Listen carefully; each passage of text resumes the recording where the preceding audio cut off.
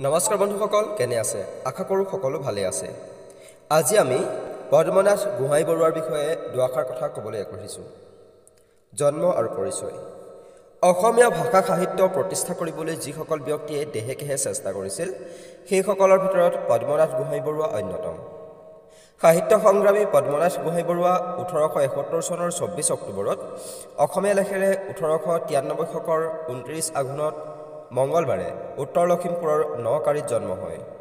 তেখেতৰ পিতৃ আছিল ঘীণাৰাম গোহাঁই বৰুৱা আৰু মাতৃ আছিল লম্ভী দেৱী। তেওঁ ঘীণাৰাম গোহাঁই বৰুৱাৰ অষ্টম সন্তান আছিল। বৰুৱাদেৱ থাউমুং ক্লিং বৰগোহাঁই বংশৰ লোক আছিল। আনহাতে কৃষ্ণকান্ত সন্দিকৈ তেওঁৰ ভাগিন আছিল। বৰুৱাদেৱক আটাইতকৈ বেছি মৰম কৰিছিল বায়েক মাহিন্দ্ৰীয়ে।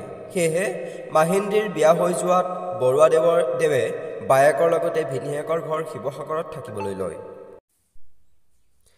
শিক্ষা জীৱন। তেখেতে শিক্ষা জীৱন আৰম্ভ কৰে লখিমপুৰত আৰু শেষ কৰে শিৱসাগৰত।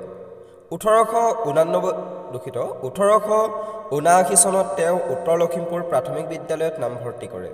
তাৰ পিছত ওঠৰশ চৌৰাশী চনত শিৱসাগৰ চৰকাৰী উচ্চ ইংৰাজী বিদ্যালয়ত পঢ়িবলৈ লয়। উক্ত বিদ্যালয়ৰ প্ৰধান শিক্ষক স্বনামধন্য চন্দ্ৰমোহন গোস্বামীদেৱৰ প্ৰতি তেওঁৰ অটল গুৰুভক্তি আছিল। গোস্বামীদেৱ কহিমালৈ বদলি হোৱাত গোহাঁই বৰুৱাৰ লগতে ইন্দ্ৰনাথ আৰু মথুৰানাথ নামৰ ছাত্ৰ দুজনো কহিমালৈ ৰাওনা হয়। কহিমাৰ পৰা তেওঁ এণ্ট্ৰেঞ্চ পৰীক্ষাত অৱতীৰ্ণ হয় আৰু ডিব্ৰুগড়ৰ পৰা এণ্ট্ৰেঞ্চৰ শেষ দি শেষ পৰীক্ষা দি ওঠৰশ নব্বৈ চনত উত্তীৰ্ণ হয়। তেখেতে এণ্ট্ৰেঞ্চৰ পৰীক্ষাত উত্তীৰ্ণ হৈ উচ্চ শিক্ষা লাভৰ বাবে কলিকতালৈ কলিকতালৈ যায় কিন্তু তাত কোনো পৰীক্ষাত উত্তীৰ্ণ হ'ব নোৱাৰি অসমলৈ পুনৰ ঘূৰি আহে। কৰ্ম আৰু ব্যক্তিগত জীৱন। বৰুৱাদেৱে অসমলৈ আহি কহিমা মধ্য ইংৰাজী বিদ্যালয়ৰ প্ৰধান শিক্ষকৰূপে নিযুক্ত হয়। ওঠৰশ ছিয়ান্নব্বৈ চনত কহিমাৰ পৰা তেওঁ তেজপুৰ নৰ্মাল স্কুলৰ প্ৰধান শিক্ষকৰূপে বদলি হৈ আহে। ইয়াৰ পিছত চৰ তেজপুৰ চৰকাৰী হাইস্কুল যোৰহাট চৰকাৰী হাইস্কুল আদিতো চাকৰি কৰে। তেওঁ কহিমাত থাকোঁতেই লীলাৱতীক বিয়া কৰায় কিন্তু কম দিনতে লীলাৱতী আৰু বায়েক মাহিন্দ্ৰীৰ অকাল বিয়োগ হয়। তাৰ পিছত তেওঁ হীৰাৱতীক দ্বিতীয়বাৰৰ বাবে বিয়া কৰায়। তেওঁৰ দ্বিতীয় পত্নীৰ গৰ্ভত সাতজনী ছোৱালী আৰু এটা ল'ৰাৰ জন্ম হয়। সাহিত্য চৰ্চা। গোহাঁই বৰুৱা একেদৰে কবি ঔপন্যাসিক নাট্যকাৰ জীৱনীকাৰ হাস্যৰসিক প্ৰবন্ধকাৰ আৰু সাংবাদিক। তেখেতে মজলীয়া স্কুলত পঢ়ি থকা কালৰ পৰাই সাহিত্যৰ চৰ্চাৰ ফালে ঢাল খায়। বৰুৱাদেৱে প্ৰথমে বঙলা কবিতা ৰচনা কৰিছিল।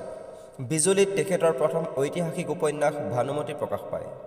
বিজুলীৰ ওঠৰশ নব্বৈ চনত প্ৰথম সম্পাদক কৃষ্ণপ্ৰসাদ দুৱৰাই দায়িত্ব এৰিবলগীয়া হোৱাত দ্বিতীয় বছৰৰ পৰা পদ্মনাথ গোহাঁই বৰুৱাই বিজুলীৰ সম্পাদনা আৰু প্ৰকাশৰ দায়িত্ব লয়। তেতিয়াই তেওঁৰ লাহৰী উপন্যাসখনো প্ৰকাশ পায়।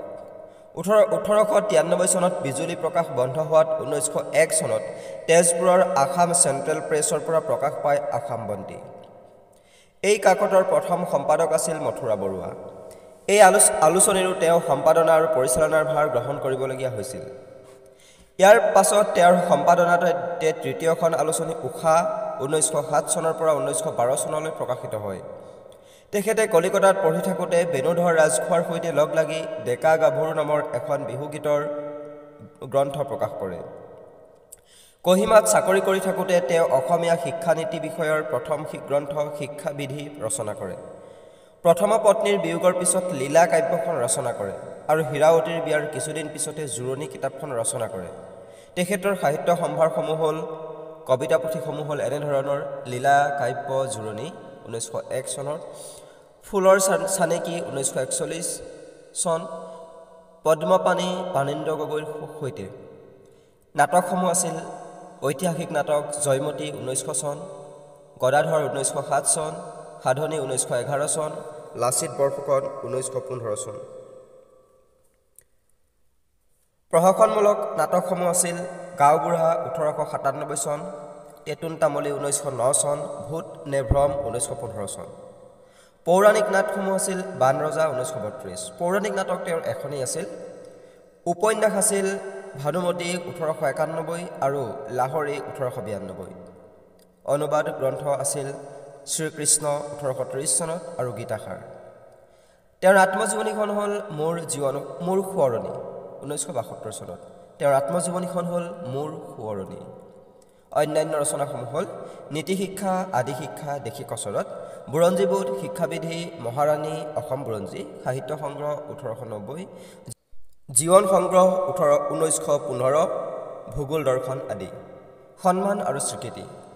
কহিমাত গোহাঁই বৰুৱাদেৱে অসমীয়া ভাষা উন্নতি সাধিনী সভা আৰু কহিমা সাহিত্য সভা প্ৰতিষ্ঠা কৰে। এই দুয়োটা অনুষ্ঠানৰে তেওঁৰ প্ৰতিষ্ঠাপক সম্পাদকৰূপে কাৰ্যনিৰ্বাহ কৰে। ইয়াৰ উপৰিও তেজপুৰ তেজপুৰত নামঘৰ আৰু বাণ থিয়েটাৰ স্থাপন কৰে। অসম সাহিত্য সন্মিলন আসাম ছাত্ৰ সন্মিলন শিক্ষক সন্মিলন আহোম সভা সন্মিলন সদৌ অসম আহোম এছ'চিয়েশ্যন আদি নানা অনুষ্ঠানত সভাপতিৰ পদো অলংকৃত কৰে। ঊনৈছশ সোতৰ চনৰ ছাব্বিছ আৰু সাতাইছ ডিচেম্বৰত শিৱসাগৰত অনুষ্ঠিত সদৌ অসম সাহিত্য সন্মিলনী বৰ্তমান অসম সাহিত্য সভাৰ তেওঁ প্ৰথমগৰাকী সভাপতি হয়। ঊনৈছশ ওঠৰ চনত অসম সাহিত্য সভাৰ তেওঁ সম্পাদক আছিল। গোহাঁই বৰুৱাদেৱ আছিল অসমীয়া সাহিত্যৰ প্ৰথমগৰাকী ব্ৰিটিছৰ পৰা ঊনৈছশ ছয় চনত পোৱা পোৱা পেঞ্চনাৰ। সেই সময়ত পেঞ্চনাৰ টকা আছিল মাত্ৰ পঁচিছ টকা। ঊনৈছশ তেত্ৰিছ চনত তেখেতক ব্ৰিটিছ চৰকাৰে ৰায় বাহাদুৰ উপাধি প্ৰদান কৰে। সামৰণি। গোহাঁই বৰুৱাদেৱৰ সাহিত্য কীৰ্তিৰ বিষয়ে ডিম্বেশ্বৰ নেওগে কৈছিল উপন্যাস নাটক বা পদ্য লিখাৰ ভিতৰত মূল্যতকৈও উদ্যম আৰু সাহিত্যৰ পৰিসৰৰ বৃদ্ধিৰ চেষ্টা অধিক প্ৰশংসনীয় আৰু ভবা চিন্তাতকৈ ইয়াৰ ভাষা পৰিপাট্য ঘাইকৈ চকুত লগা। বৃদ্ধ অৱস্থাতো বৰুৱাদেৱে দহ বাৰ ঘণ্টা সাহিত্য চৰ্চা কৰা। এইজন কলা সাধকৰ ঊনৈছশ ছয়চল্লিছ চনৰ সাত এপ্ৰিলত তেজপুৰত মৃত্যু হয়। আজিৰ আমাৰ আলোচ্য বিষয় আছিল অসম সাহিত্য সভাৰ প্ৰথমগৰাকী সভাপতি পদ্মনাথ গোহাঁই বৰুৱাৰ জীৱন আৰু জীৱনৰ বিষয়ে আলোকপাত